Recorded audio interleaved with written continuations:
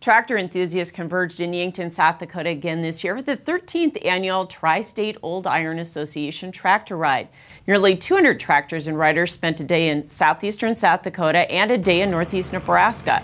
Participants came from as far away as New York, California, and Louisiana. Organizers say the event is sold out every year because people want to preserve the history of farming and tractors.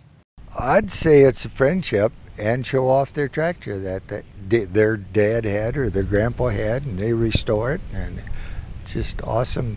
The ride features many different makes and models of tractors, including this rare Deutz tractor from Germany and this high crop John Deere. Becker says participants enjoy the fellowship, seeing the countryside, and checking out the crops.